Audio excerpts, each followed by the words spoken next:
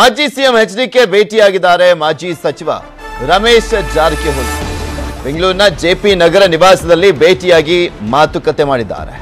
ತೀವ್ರ ಕುತೂಹಲ ಮೂಡಿಸಿದೆ ರಮೇಶ್ ಜಾರಕಿಹೊಳಿ ಅವರ ಭೇಟಿ. ಕೆಟ್ಟ ಸರ್ಕಾರ ತೆಗೆಯೋಕೆ, ಹೋರಾಟ ಮಾಡೋಕೆ ಮೈತ್ರಿ ಅನುಕೂಲವನ್ನ ಮಾಡಿಕೊಡುತ್ತೆ. ಕುಮಾರಸ್ವಾಮಿ ಸಾಕಷ್ಟು ಹೋರಾಟ ಮಾಡ್ಕೊಂಡು ಬಂದಿದ್ದಾರೆ. ಎಚ್ ಡಿ ಬಂದ್ರೆ ಇನ್ನೂ ಶಕ್ತಿ ಬಂದಂತಾಗುತ್ತೆ ಅಂತ. ಎಚ್ ಡಿ ಸಿಎಂ ಆಗಿದ್ದಂತಹ ಸಂದರ್ಭದಲ್ಲಿ ಅವರ ಸರ್ಕಾರವನ್ನ ತೆಗೆದಂತಹ ಮೊದಲ ವ್ಯಕ್ತಿ ರಮೇಶ್ ಜಾರಕಿಹೊಳಿ ಈಗ ಅವರೇ ಮಾತನಾಡ್ತಿದ್ದಾರೆ. ಎಚ್ ಡಿ ಕೆ ಬಂದ್ರೆ ಇನ್ನೂ ಶಕ್ತಿ ಬರುತ್ತೆ ಅಂತ.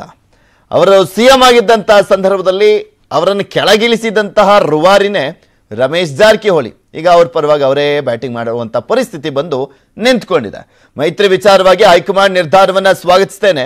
ಆದಷ್ಟು ಮೈತ್ರಿ ಮಾಡ್ಕೊಂಡು ಒಳ್ಳೇದು ಅಂತ ಹೇಳಿದ್ರು ರಮೇಶ್ ಜಾರಕಿಹೊಳಿ.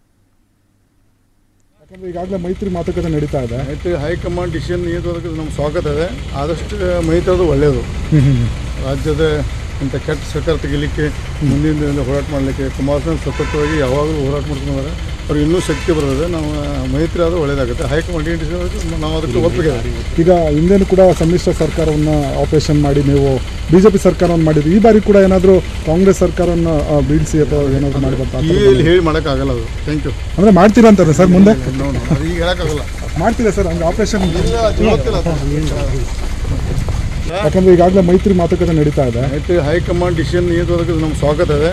ಆದಷ್ಟು ಮೈತ್ರಿ ಅದು ಒಳ್ಳೆಯದು ರಾಜ್ಯದ ಇಂಥ ಕೆಟ್ಟ ಸರ್ಕಾರ ತೆಗಿಲಿಕ್ಕೆ ಮುಂದಿನ ದಿನದಲ್ಲಿ ಹೋರಾಟ ಮಾಡಲಿಕ್ಕೆ ಕುಮಾರಸ್ವಾಮಿ ಸತತವಾಗಿ ಯಾವಾಗಲೂ ಹೋರಾಟ ಮಾಡ್ಕೊಂಡಿದ್ದಾರೆ ಅವ್ರಿಗೆ ಇನ್ನೂ ಶಕ್ತಿ ಬರ್ತದೆ ನಾವು ಮೈತ್ರಿ ಆದರೂ ಒಳ್ಳೇದಾಗುತ್ತೆ. ಹೈಕಮಾಂಡ್ ನಾವು ಅದಕ್ಕೆ ಒಪ್ಪಿಗೆ ಈಗ ಹಿಂದೆನೂ ಕೂಡ ಈ ಹಿಂದೆ ಕಾಂಗ್ರೆಸ್ ಮತ್ತು ಜೆಡಿಎಸ್ ಮೈತ್ರಿ ಸರ್ಕಾರ ಇದ್ದಂತ ಸಂದರ್ಭದಲ್ಲಿ ಕಾಂಗ್ರೆಸ್ ಪಕ್ಷದ ಶಾಸಕರಾಗಿದ್ದು ಸಚಿವರು ಕೂಡ ಆಗಿದ್ದಂತ ರಮೇಶ್ ಜಾರಕಿಹೊಳಿ ಅವರು ಆ ಸಮ್ಮಿಶ್ರ ಸರ್ಕಾರವನ್ನ ತೆಗೆದಿದ್ರು. ಪ್ರಮುಖ ರುವಾರಿ. ಅವತ್ತು ಕುಮಾರಸ್ವಾಮಿ ಅವರು ಮುಖ್ಯಮಂತ್ರಿ ಗಾದಿಯಿಂದ ಇಳಿಲಿಕ್ಕೆ ಪ್ರಮುಖ ಕಾರಣಕರ್ತರಾಗಿದ್ದಂಥವರು ಅಂದರೆ ರಮೇಶ್ ಜಾರಕಿಹೊಳಿ ಅವರು. ಇವತ್ತಿನ ಸಂದರ್ಭ ನೋಡಿ ಹೆಂಗಿದೆ.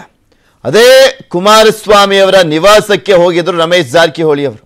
ಅವ್ರ ಜೊತೆ ಮೈತ್ರಿ ಮಾಡ್ಕೊಂಡ್ರೆ ಒಳ್ಳೇದು ಅಂತ ಮಾತನಾಡ್ತಾ ಇದ್ದಾರೆ ರಮೇಶ್ ಜಾರಕಿಹೊಳಿ ಅವರು. ಗೋಕಾಕ್ನ ಶಾಸಕರ ಮಾತು ಇದು. ಮೈತ್ರಿ ಮಾಡ್ಕೊಂಡ್ರೆ ಒಳ್ಳೇದು. ಅವರು ಸಾಕಷ್ಟು ಹೋರಾಟವನ್ನ ಮಾಡ್ಕೊಂಡು ಬಂದಿದ್ದಾರೆ ಕುಮಾರಸ್ವಾಮಿ ಜೆ ಜೊತೆ ಮೈತ್ರಿ ಆದರೆ ಈ ಒಂದು ಕೆಟ್ಟ ಸರ್ಕಾರ ತೆಗಿಲಿಕ್ಕೆ ಅನುಕೂಲ ಆಗುತ್ತೆ ಅಂತ ಹೇಳಿದ್ರು. ಇದ್ರ ಬಗ್ಗೆ ಇನ್ನಷ್ಟು ಮಾಹಿತಿಯನ್ನ ಕೊಡ್ತಾ ಹೋಗ್ತಾರೆ ನಮ್ಮ ಪ್ರತಿನಿಧಿ ಹೆಬ್ಬಾಕ ತಿಮ್ಮೇಗೌಡ. ನಮ್ಮ ಜೊತೆ ನೇರ ಸಂಪರ್ಕದಲ್ಲಿ ಜಾಯಿನ್ ಆಗ್ತಾ ಇದ್ದಾರೆ. ಕೆಟ್ಟ ಸರ್ಕಾರ ತೆಗಿಲಿಕ್ಕೆ ಕುಮಾರಸ್ವಾಮಿ ಅವರ ಜೊತೆ ಆದ್ರೆ ಒಳ್ಳೇದು ಅಂತ ಮಾತನಾಡ್ತಾ ಇದ್ರು ರಮೇಶ್ ಜಾರಕಿಹೊಳಿ ಅವರು. ಪ್ರಮುಖವಾಗಿ ಕುಮಾರಸ್ವಾಮಿ ಅವರು ಮುಖ್ಯಮಂತ್ರಿ ಸ್ಥಾನದಿಂದ ಕೆಳಗಿಳಲಿಕ್ಕೆ ಕಾರಣಕರ್ತರು ಅಂದ್ರೆ ರಮೇಶ್ ಜಾರಕಿಹೊಳಿ ಅವರು. ಅವತ್ತು ರಮೇಶ್ ಜಾರಕಿಹೊಳಿ ಅವರ ವಿರುದ್ಧನೇ ಯಾವ ರೀತಿಯ ಕುಮಾರಸ್ವಾಮಿ ಅವರು ಮಾತನಾಡಿದ್ರು ಅನ್ನುವಂಥದ್ದನ್ನ ಕೂಡ ನೋಡಿದ್ವಿ. ಹಾಗೆ ರಮೇಶ್ ಜಾರಕಿಹೊಳಿ ಅವರು ಕೂಡ ಮಾತನಾಡಿದ್ರು. ಇವತ್ತಿನ ಸಂದರ್ಭ ನೋಡಿದ್ರೆ ಇವರಿಬ್ರು ಕೂಡ ಒಂದಾಗುವಂತ ಒಂದು ಮುನ್ಸೂಚನೆ ಸಿಗ್ತಾ ಇರುವಂಥದ್ದು. ಅಂದ್ರೆ ಜೆಡಿಎಸ್ ಮತ್ತು ಬಿಜೆಪಿ ಒಂದಾಗುವ ರೀತಿಯಲ್ಲಿ ಕಾಣಿಸ್ತಾ ಇದೆ. ಅದ್ರ ಬಗ್ಗೆ ಅಧಿಕೃತ ಘೋಷಣೆ ಕೂಡ ಆಗಿರುವಂತದ್ದು ಈ ಸಂದರ್ಭದಲ್ಲಿ ಈ ಭೇಟಿಯ ಉದ್ದೇಶ ಏನು ಅಂತ, ಏನೇನೆಲ್ಲ ಚರ್ಚೆ ಆಯ್ತು ಅಂತ?